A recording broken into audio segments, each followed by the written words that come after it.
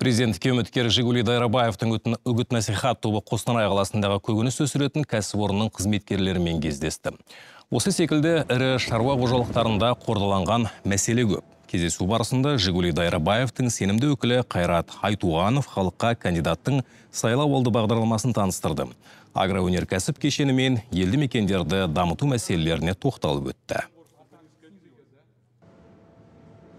Қандай мәселе шешілмей жатыр? Бірінші жанармай. Ол қымбат деп жатыр екінші міне өзіңіз білесіз осындай тыңайтқыш қымбаттады. Осы міне енді көп көп мәселелер иә қымбаттап жатыр а баға баға құлап жатыр неге? Міне шекара.